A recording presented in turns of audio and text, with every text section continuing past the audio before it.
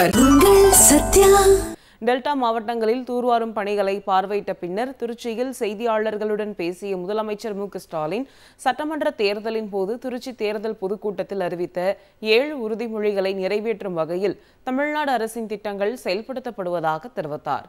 கடந்த ஆண்டு ஜூன் பன்னிரெண்டாம் தேதி மேட்டூர் அணையிலிருந்து தண்ணீர் திறந்துவிடப்பட்டதால் குறுவை மற்றும் சம்பா சாகுபடியில் சாதனை படைக்கப்பட்டதாக கூறினார்.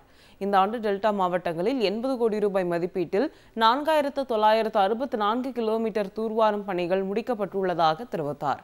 குறுவை சாகுபடிக்க மே இருபத்தி நான்காம் தேதியை மேட்டூர் அணையிலிருந்து தண்ணீர் திறந்துவிடப்பட்டு இருப்பதாக கூறியவர். இந்த ஆண்டு குறுவையில் ஐந்து புள்ளி இரண்டு லட்சம் ஏக்கரும் சம்பாவில் பதிமூன்று புள்ளி ஐந்து லட்சம் ஏக்கர் பயிரிடப்படும் என்று தெரிவித்தார். இந்த ஆண்டு அறுபத்தோரு கோடி ரூபாய் மதிப்பிலான குறுவை தொகுப்பு வழங்கும் திட்டம் செயல்படுத்தப்படும் என்றும் முதலமைச்சர் மு ஸ்டாலின் அறிவித்தார். உழவர் பெருமக்களுக்கான உதவிகளை செய்வதில் எப்போதும் திமுக அரசு என்றைக்கும் பின்வாங்கியது கிடையாது. வேளாண் பெருமக்களை நலன் கருதி இந்த ஆண்டும் ரூபாய் அறுபத்தோரு கோடி மதிப்பிலான குறுவை தொகுப்பு வழங்கக்கூடிய திட்டம் செயல்படுத்தப்படும் என்பதை உங்கள் மூலமாக உழவர் பெருமக்களுக்கு நான் தெரிவித்துக் கொள்ள விரும்புகிறேன். இந்த திட்டத்தின் மூலம் மூன்று லட்சம் உழவர்கள் பயன்பெறுவாங்க. வேளாண் உற்பத்தியை பெருக்கு நோக்கத்தோடு ஒரு லட்சத்தி தொண்ணூறாயிரம் ஏக்கர் பரப்பளவிற்கு யூரியா டிஏபி பொட்டாஷ் ஆகிய உரங்கள் அடங்கிய தொகுப்பு. நாற்பத்தேழு கோடி ரூபாய் ஒதுக்கீட்டில் முழு மானிய விலையில் வழங்கப்படும். வேளாண் விரிவாக்க மையங்கள் மூலம் ரெண்டாயிரத்தி நானூறு மெட்ரிக் டன் நெல் விதைகள் ஐம்பது விழுக்காடு மானியத்தில் நாலு கோடி இருபது லட்சம் ரூபாயில் வழங்கப்படும். வேளாண் பொறியியல் துறை மூலம் டிராக்டர் உள்ளிட்ட இரநூற்றி முப்பத்தேழு வேளாண் இயந்திரங்கள் மற்றும் கருவிகள் ஐம்பது விழுக்காடு மானியத்தில் ரூபாய் ஆறு கோடி ஆறு லட்சம் மதிப்பீட்டில் வழங்கப்படும்.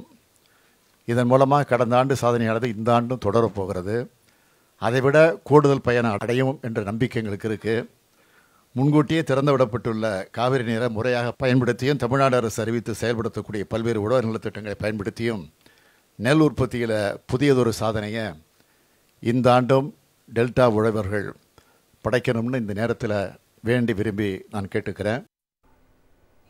இதைத் தொடர்ந்து டெல்டா மாவட்டங்களில் இதுவரை நடைபெற்ற பணிகள் குறித்த வீடியோவை முதலமைச்சர் மு ஸ்டாலின் வெளியிட்டார்.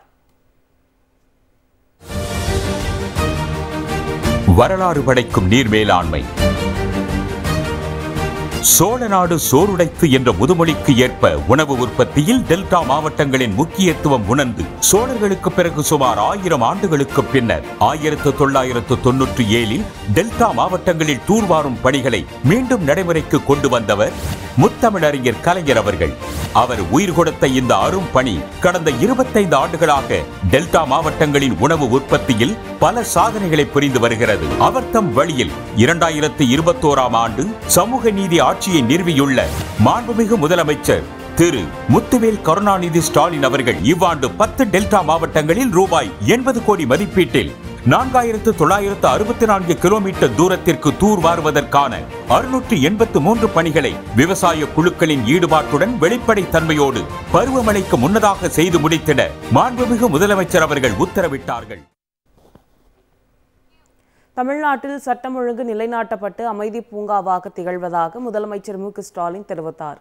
அதனால்தான் அதிகளவில் முதலீடுகள் வந்து கொண்டிருப்பதாகவும் முதலமைச்சர் கூறினார். திராவிட முன்னேற்ற கழக ஆட்சி பொறுப்பேற்றதற்கு பிறகு கலவரம் சாதி மத மத மத சண்டைகள் துப்பாக்கி சூடுகள் கூட்டு வன்முறைகள் இதெல்லாம் எந்த சமூகம் நடக்காத ஒரு ஆட்சியாக இன்றைக்கி நடந்துகிட்ருக்கு